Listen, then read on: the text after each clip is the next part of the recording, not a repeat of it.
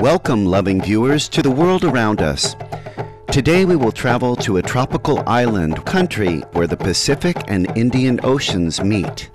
Southeast of Indonesia and north of Australia across the Timor Sea is the lovely country of Timor Leste, which consists of three islands and a separate exclave. These include the eastern half of the Timor Island, an exclave on the northwestern side of the island, as well as the nearby two peripheral islands, Atauro and Jaco. As the easternmost end of the Lesser Sunda Islands, Timor Leste is beautifully called the Eastern Rising Sun in Tetum, one of the official languages of the nation. Timor Leste beautifies our earth with unique flora and fauna over her picturesque mountains and fields. Like her neighbor Indonesia, Timor Leste is the home of a pristine rainforest that supports rich wildlife with precious animal species, including 250 kinds of birds of Asian and Australian origins. In those forests, one can also find many precious native plants, such as sandalwood. Besides being a home to abundant wildlife, Timor Leste also presents our world with an underwater wilderness. The landscapes of Timor Leste are decorated with waterfalls, tropical flowers, as well as precious metals and stones such as gold, manganese, and marble. Smooth beaches outline the extended coast with soft white sand and volcanic black sand. Resting off the north coast is an underwater precipice known as the Wetar Strait. This three kilometer deep marine trench is a flowing ocean corridor welcoming the migrating whales, dolphins, tuna, and sailfish. Also along the north coast, Timor Leste's pleasant cities prosper, blending natural beauty with the amazing culture of her people. The largest city and the nation's capital, Dili, is an important port in the region as well as a commercial center. Here, in the relaxing, mild ocean breeze, life in Dili is vibrant and full of hope. Commerce, culture, art, and other activities flourish. Eu sou José Maia, pároco da paróquia de Suai. Agora estou aqui em Dili, Catedral de Dili. Já veio ontem para seguir, para seguir a, celebração Cruz Jovem em Ilhéu. Hoje, Cruz Jovem Nacional é mais importante para nossa para timorenses, porque através da Cruz Jovem reunir todos os jovens, não só os jovens, mas todos os velhos, todos os cristãos em Timor-Leste, para celebrar, para dialogar sobre a unidade cristã e também a unidade nacional. The people of Timor Leste consist of Austronesians, Papuans, and a small Chinese community. As evidenced in the early cave paintings, stone carvings, and pottery, human activity on Timor Island started 4,000 years ago. Today, the city of Dili has been completely rejuvenated. The more modern cultural center, known as Uma Fukun, or Living Art, complements the antique market, which was transformed into a broad space for conventions and exhibitions for arts and crafts. Dili's streets welcome people from all around the world with their local art creations of wood and beautifully woven fabric.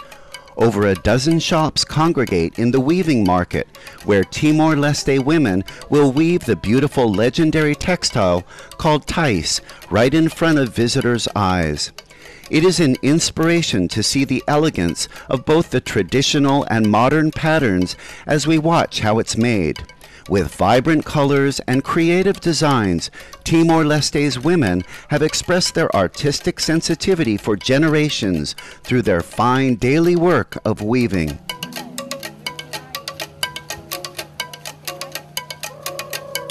A few steps further on the road is the fruit and vegetable market. There, the tropical vegetables and fruits will satisfy with their freshness and flavors.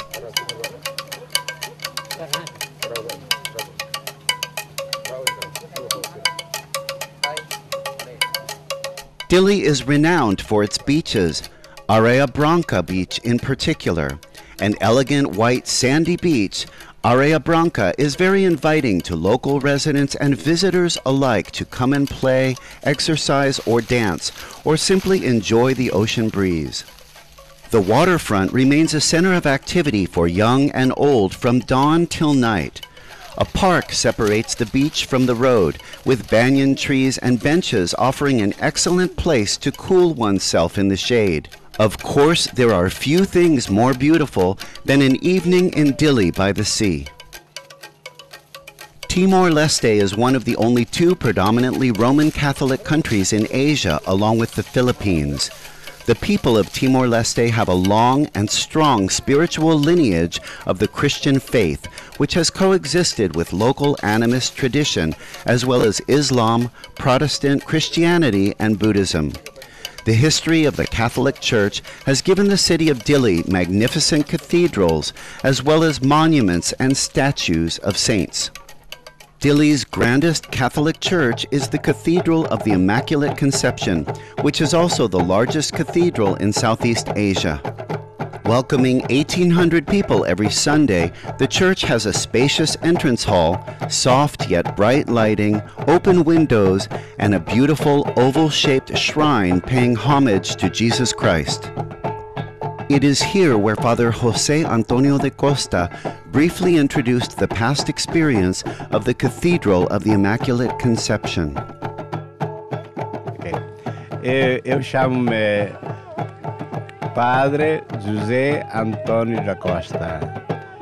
Eu estou aqui nesta igreja há quase 20 anos, mas sou sacerdote há qua- 43 anos. A igreja catedral significa igreja do bispo. Numa diocese católica sempre tem igreja catedral, igreja mãe numa diocese.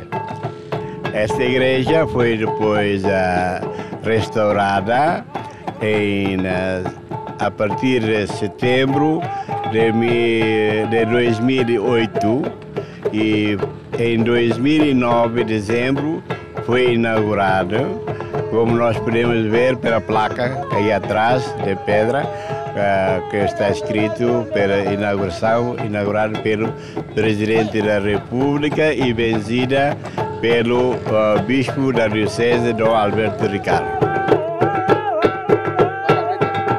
Three kilometers east from Areia Branca Beach, on a hilltop at the end of the Fatucama Peninsula, a grand statue of Lord Jesus stands on top of a globe, facing the ocean with his arms lovingly open. This awe inspiring 27 meter tall statue is called the Cristo Rei, which literally means Christ the King, and is the second tallest statue of its kind.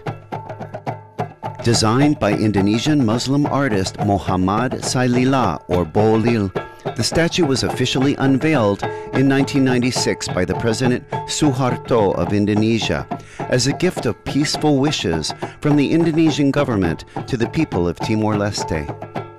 For years, the sublime image of Jesus Christ gave hope through the country's challenges, touching the hearts of those who gazed upon him. When speaking about the history of Timor Leste, one cannot help but appreciate the Christian faith's role in promoting peace. Back in 1989, Pope John Paul II urged for nonviolence in his special visit to Timor Leste and called upon the people to love and pray for your enemies. In addition, the bishops and pastors of the Catholic churches in Timor Leste have acted as peace advocates in times of need. In recognition of their collaborative work towards a peaceful solution for the nation, retired Bishop Carlos Filipe Ximenes Belo, together with the second president of Timor Leste, Jose Manuel Ramos Horta, who was then Prime Minister, received the 1996 Nobel Peace Prize. Todos os domingos vem a missa da parte da manhã, cerca de 2 mil cristãos, e à tarde uns 500 a 600. né? Durante a celebração da missa, procuramos ah, falar do Evangelho, mas também Sempre que oferece ocasião, fazemos apelo aos cristãos para viverem em paz, em solidariedade e fraternidade com todas as pessoas que vivem na sociedade junto da paróquia. As a peace messenger in Timor Leste, Roman Catholic churches have increased eightfold in number nationwide over the past decades. Youth have become the most sincere and active members of this Christ and peace loving community. For Timor Leste, the future is bright. Eh, eh, Hamai misel importante tamba. Kami nudar serani ten ser mai misel de. Ai mai misel domingo domingo ne tamba. Kami nudar serani ne bediak. Tengke tuir buat nebe mak maromak hakarak. Hane san sekona ami asala karek ya Ia domingo, domingo am tenge mai missa tu casa am de sala. O cruzogo é mais importante para nós os, para os timorenses, mas especialmente para os jovens de Timor, para reunir todos nós no diálogo para criar a paz na nossa terra, especialmente em Timor-Leste.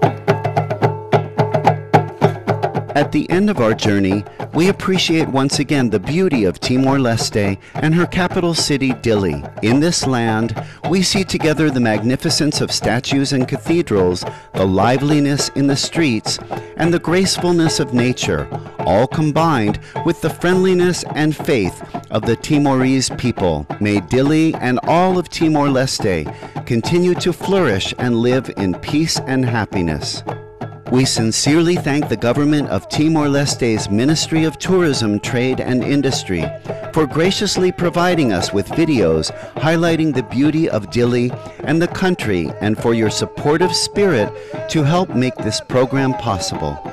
For more information on Timor Leste, please visit www.turismotimorleste.com. Travel loving viewers, thank you for your company today on the world around us. Please stay tuned to Supreme Master Television for words of wisdom coming up next after noteworthy news. May faith in heaven be with you always.